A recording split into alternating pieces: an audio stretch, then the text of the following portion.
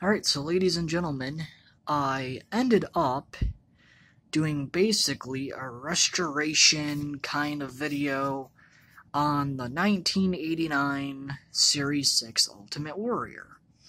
Now, this is the one that I uh, had, or have, that's in, you know, way better condition. Now, I will say, I still have a little bit to do on him. I still have to fix up the orange on, you know, this right here for his like little wristband tape. So I still have a little bit that of that to fix up. The only really bad thing that I did, which I have done over and over and over, um, is the face paint. The face paint, as you can see, is not really great. I might just honestly start over on the face paint, but I have tried to get it as good as I can. Not really great though, so I might just start over on that. But on the knee pads and the trunks, now you might say, how in the heck did you find the same exact orange paint for the knee pads and the trunks? And as you can see, I didn't really do that bad of a job for the knee pads and the trunks. Here's even the, the backside of it and whatnot or it's dry, so if I touch it, I won't get any paint on me. But, um, yeah, no, it's really not that bad. It's not super sloppy. It's a little sloppy, but, you know, not that bad.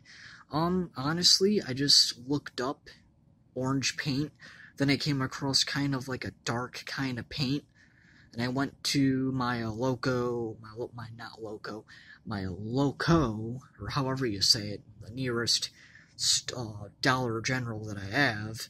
I went there and I ended up uh, buying some paint, orange paint that came across as the same color as they used for the figure. Uh, the blue for the, the kind of wristband tape I ended up repainting. Same on this side. There's a little bit of a mishap. I'll just have to clean that up when it fully dries. It is what it is. But, um, you know, in my opinion, he looks really good looks way better than, you know, original. Now, originally when I got him, he didn't have a lot of paint missing, it was just a little bit. But I mean, I wanted to fix him up either way. The figure itself is not in horrible condition, like rubber-wise. You know, there wasn't really much paint. I mean, in fact, all the black here is all original.